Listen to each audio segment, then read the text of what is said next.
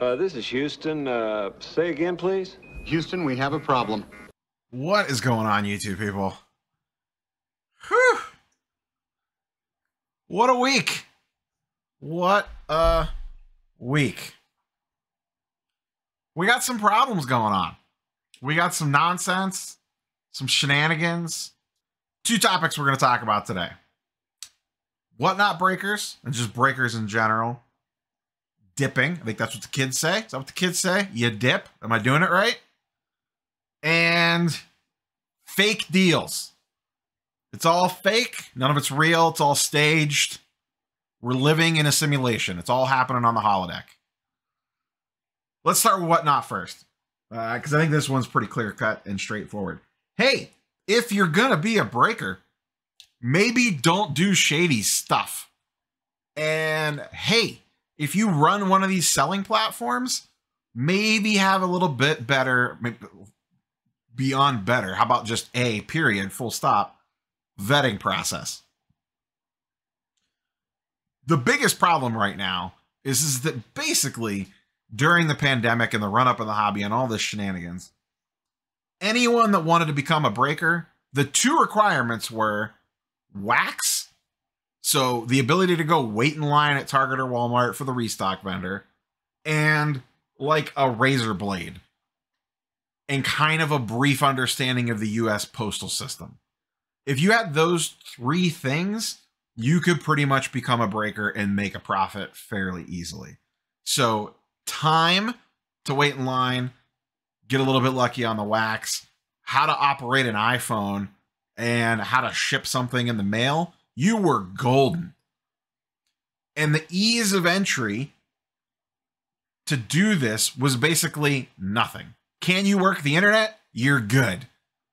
Because you could do it on a Facebook group, whatnot. Sure, they vet you, you have to apply, but it's not like some huge uh, big arduous process. I'm not sure on the other selling platforms, Loupe and Card Shop Live and all that, like the intricacies of their details for getting approved to sell on there. But at least for whatnot, the largest platform, it is a fairly low barrier of entry. And then let Facebook, IG, Twitch, YouTube, there's literally zero barrier of entry other than just kind of gaining a little bit of a following for people to buy into your stuff.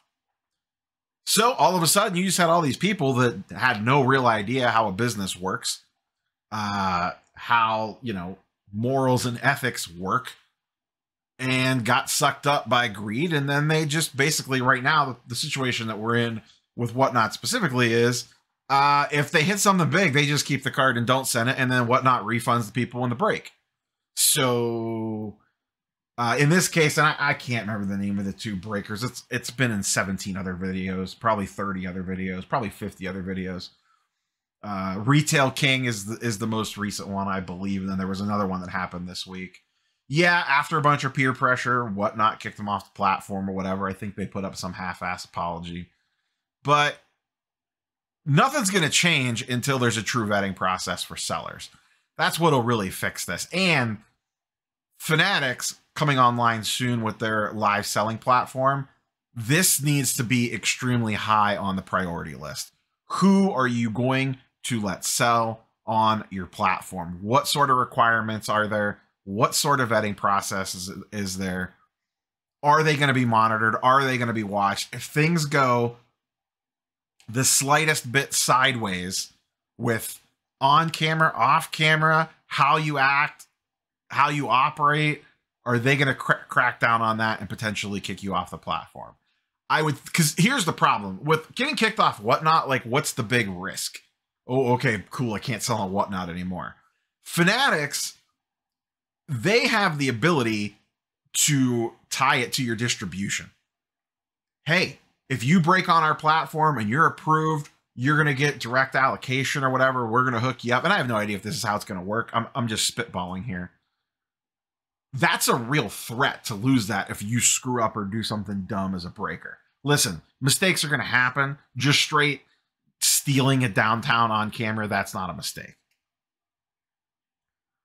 But that's a real consequence if Fanatics ties it into access or discounts on product or the featured slots or whatever.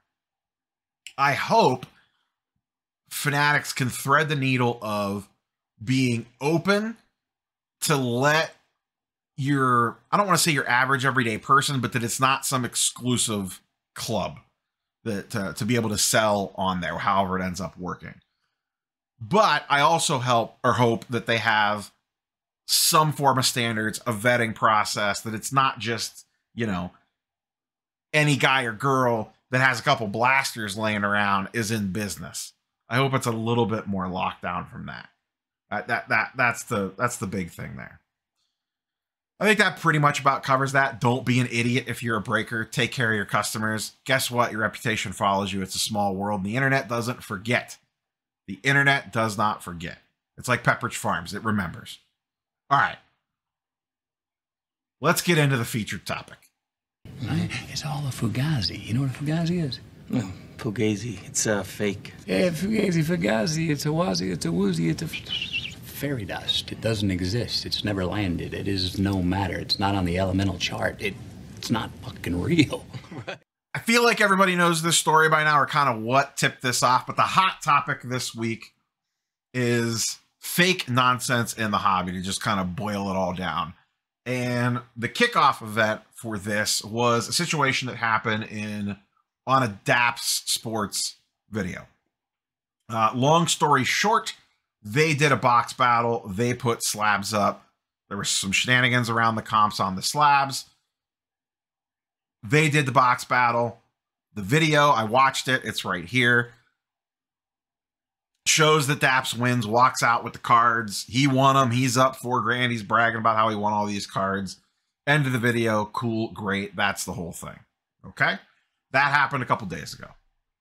Uh, a couple days after that, on Great Curators Between Two Slabs live stream, live stream, someone asks, "Hey, sucks to lose the Black Panther," and then Great Curator goes on to talk about how it was staged. There was some shena- his his story is is that there was some shenanigans with the comps. So after the fact, they decided not to go through with distributing the cards. Everybody left with their own cards. Okay? That is not what this displays. I watched the whole video, I watched the end of it. Good, bad, or indifferent. Maybe it was an innocent mistake. They maybe they didn't think they needed to include that at the end of the video. Whatever the case might be, the cat is out of the bag now. And because of this incident, now everything is getting called into question. There's already a lot of questions about the operations, the day to day operations of some of these fine folks to begin with, and really hobby content in general, beyond just the the the four in this video, just period. People have always kind of been a little skeptical around some of the deals that went down at shows, and now this has turned into a full blown feeding frenzy. I'm of the mind if the deal didn't actually complete, if it didn't play out the way that it did after the fact, they got down in the room and decided to said, "Hey, by the way, we're not actually going through with this." That should have been disclosed somewhere. You broke the trust of your audience by not talking about that somewhere. If you didn't want to include it in the video, you could have easily made an IG, a Twitter post, pinned a comment, whatever that said, hey, after the fact, we talked about it, X, Y, or Z thing. This is what we ended up doing.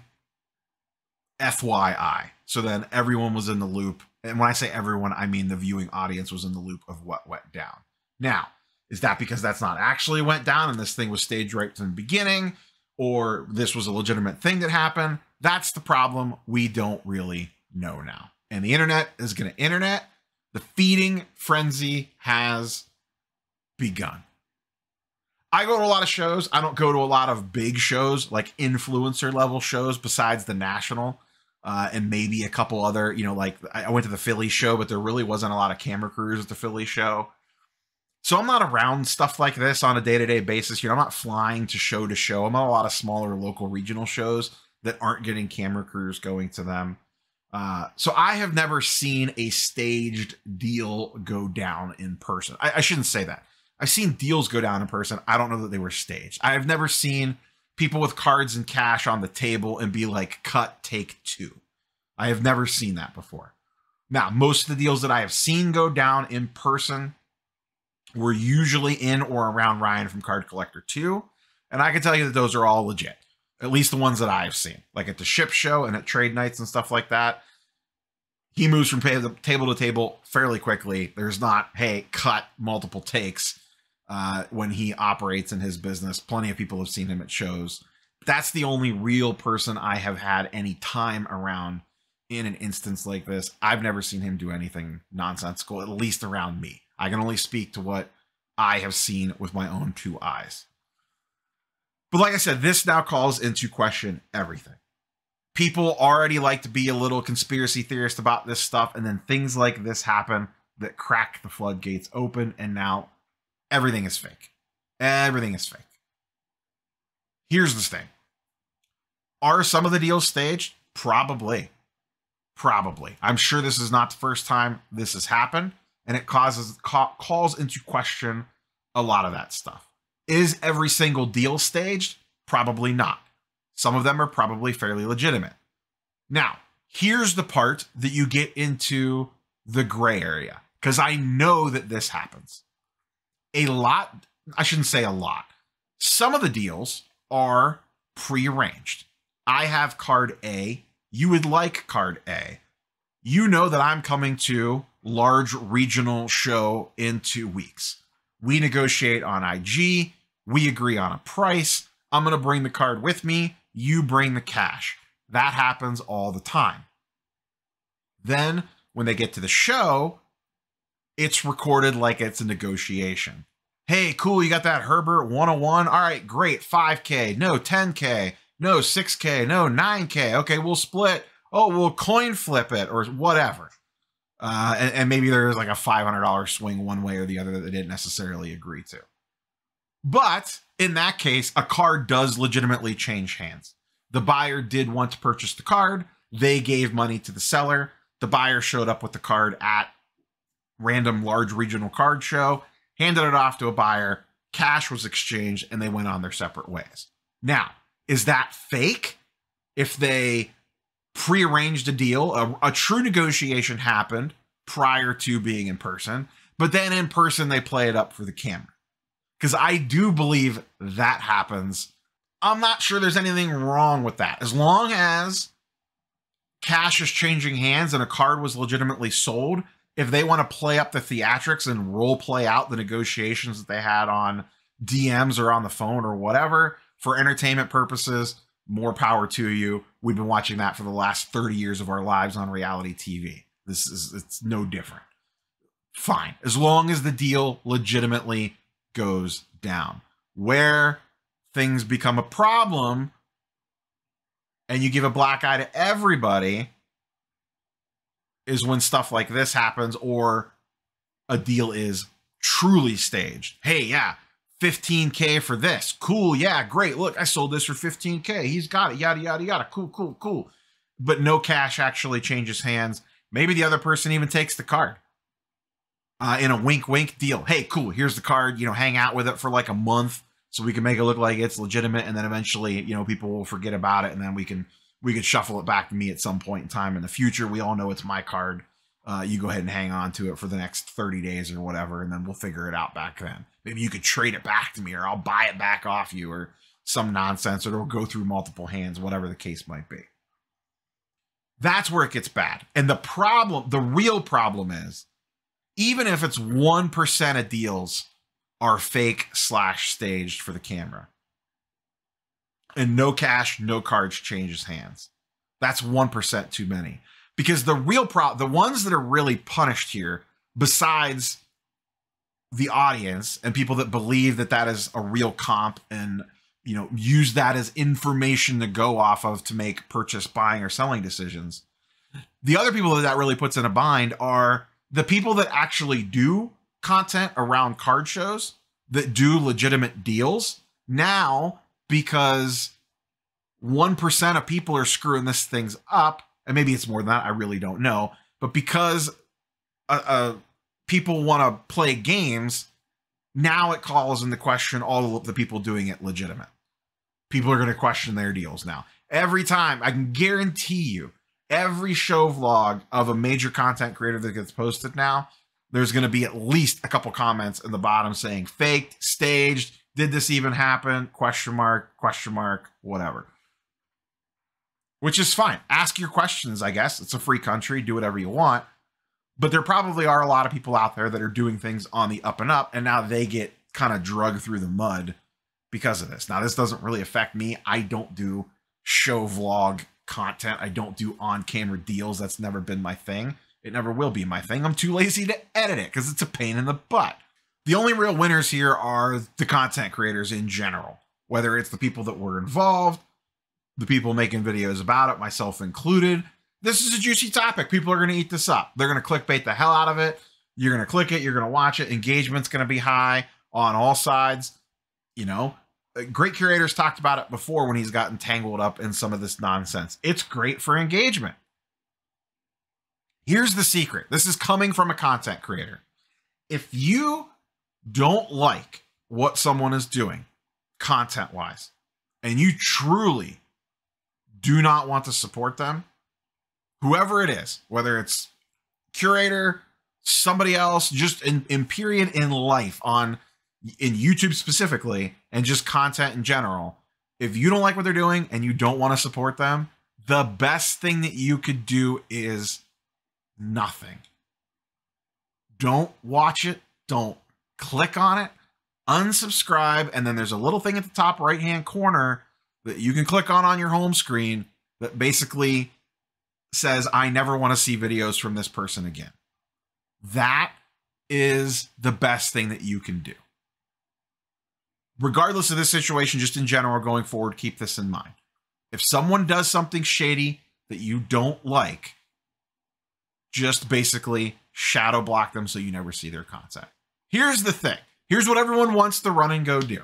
And it's already happened on happened on the DAPS video. I looked at the comments. It's probably on this video. I didn't look at the comments. If you truly don't want to support their content, them or, you know, whatever happens in the future with somebody else, myself included, feel free to use this advice if you hate me and you just hate watch. The best way to shut them down is not click on anything.